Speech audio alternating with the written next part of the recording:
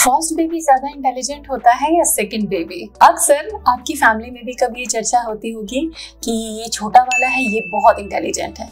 बड़ा वाला का नेचर थोड़ा सा अलग है। ऐसी चर्चाओं में आप भी कभी ना कभी तो बैठे होंगे। तो आज मैं इसके साइंटिफिक फैक्ट बताने वाली हूँ, क्योंकि इस पे 1979 से स्टडीज़ हुई हैं। बराबर इंटरव्यूज़ हुए हैं और बहुत लंबी स्टडी रही है तो और बहुत ही इंटरेस्टिंग इन्फॉर्मेशन है।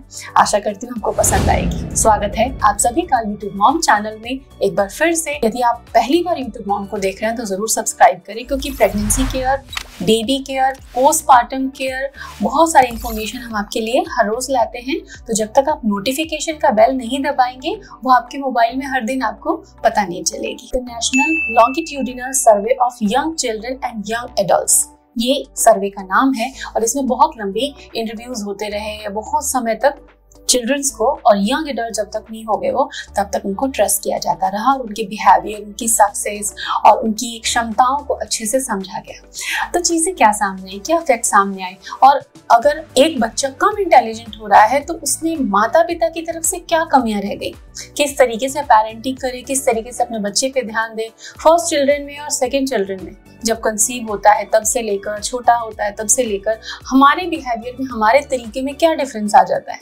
ये सारी बातें आज हम समझने वाले हैं। तो ये वीडियो अच्छा लगे तो अपने फैमिली में भी ज़रूर शेयर करें। यूँ कहा जाता है छोटा वाला बच्चा सेकेंड चाइल्ड ज़्यादा स्मार्ट होता है। लेकिन स्टडीज़ में ऐसा कुछ भी नहीं आया। स्टडीज़ में ये चीज़ आई जो सबके लिए माइंड ब्लोइंग है कि जो पहला बच्चा होता है आईक्यू उसका अच्छा होता है कॉग्निटिव एबिलिटीज उसकी अच्छी होती है डिसीज़न मेकिंग उसकी अच्छी होती है, उस बच्चे का सेहत भी ज़्यादा अच्छा रहता है सेकेंड चाइल्ड से। तो इसके पीछे रीजन क्या है? क्यों होता है फ़र्स्ट चाइल्ड ज़्यादा स्मार्ट और सेकेंड चाइल्ड में स्मार्टनेस के तरीके क्या है? वो किस तरीके से इम्प्रूव्ड होता है? ね。वो सब भी हम समझते हैं। तो जहाँ तक हम फ़र्स्ट बेबी की बात करते हैं तो जब फ़र्स्ट बेबी होता है तो पेरेंट्स बहुत कंसर्न होते हैं क्योंकि उनका पहला बच्चा होता है, उनका काफ़ी ज़्यादा टेंशन उसमें होता है दवाएँ से लेकर, खाने पीने से लेकर।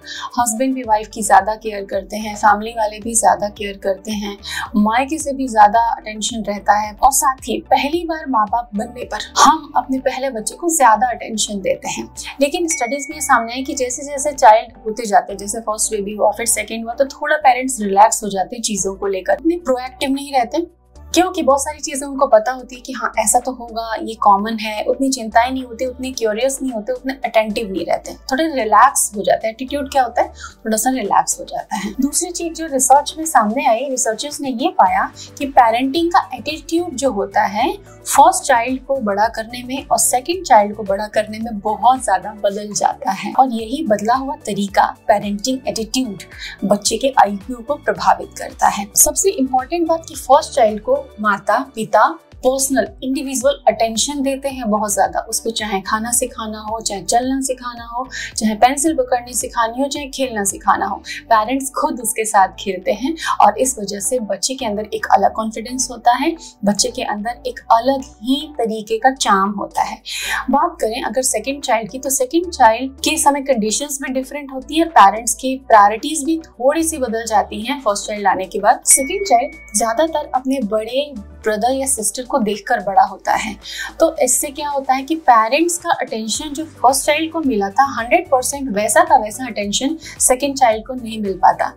अगर आप इस बात से एग्री हैं तो कमेंट में अपने थॉट ज़रूर लिखें कि यस ऐसा आपने भी महसूस किया है फैमिली में आपके साथ हुआ है या फिर आपने ऑब्ज़र्व किया है। जो पहली बार पेरेंट्स बनते हैं, माँ बनती है एक महिला या फादर बनते हैं एक मेल तो हर चीज़ वो सीखना चाहते हैं, वो जानना चाहते हैं, वो पढ़ते हैं उसके बारे में, वो जानकारी जुटाते हैं।